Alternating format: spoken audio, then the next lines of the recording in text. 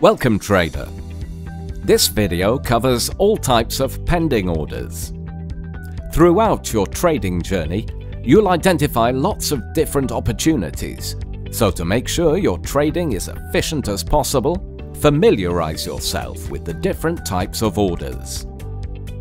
There are essentially two ways to open a trade. The first is by instant execution, which means you are opening a trade immediately at the available price.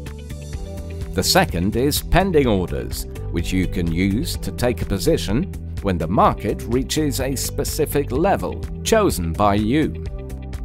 Pending orders might be perfect for when you don't have the time to constantly monitor prices manually, or when you have analyzed a market and are waiting for your entry level. There are four types of pending orders available within XStation 5, but we can group it to just two main types. Orders expecting to break a certain market level, or orders expecting to bounce back from a certain market level. Let's start with the buy stop pending order, which you can use to follow the trend. The buy stop order allows you to place a buy order above the current market price. This means that if the current market price is $20 and your buy stop is $22, a buy order will be opened once the market reaches that price. A sell stop is similar, but is placed below the current market price. So if the current market price is $20 and your sell stop price is $18, a sell position will be opened once the market reaches that price. Let's have a look at limit orders. The opposite of a buy stop is buy limit, which you can use to set a buy order below the current market price. This means that if the current market price is $20 and your buy limit is $18, then once the market reaches the price level of $18, a buy position will be opened.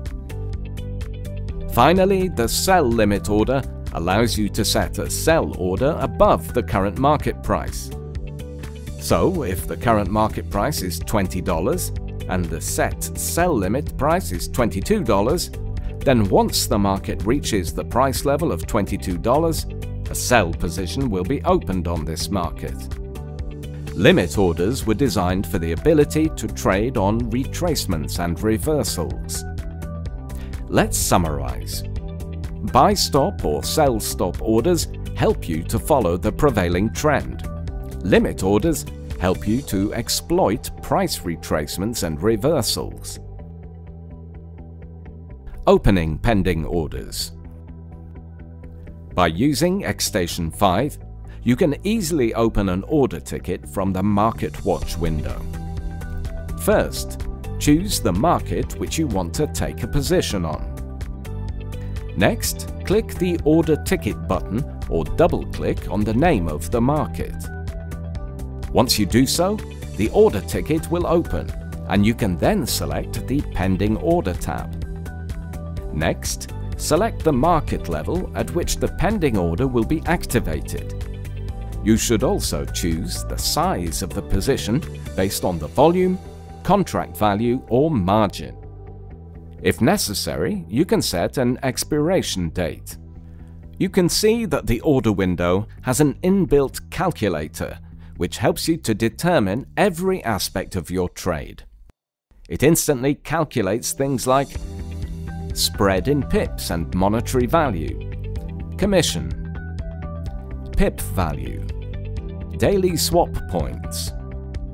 In the order window, choose the size of the position and whether to apply a stop loss or take profit level. Once all these parameters are set, select the green or red button depending on whether you would like to go long or short. Trading from the chart. Another way to place a pending order is through the chart. You can easily place pending orders directly from the chart that you are currently analyzing.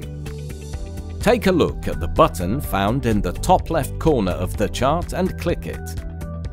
After doing so, move the mouse cursor on the chart so that you can select the level where the pending order will be opened.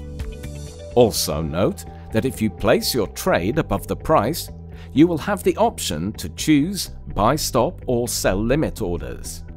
And if you place an order below the price, you'll choose between sell stop and buy limit.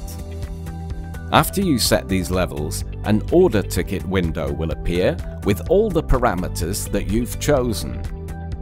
Now simply choose the size of the position and place the order by selecting the red or green button depending on the type of order you are placing.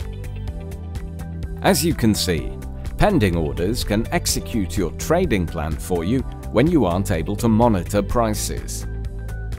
This completes the beginner tutorials of Xstation 5. Well done! Remember, familiarizing yourself with your trading platform and utilizing all its features can help take you to the next level in your trading. There are also intermediate and advanced sections available. Thank you for watching.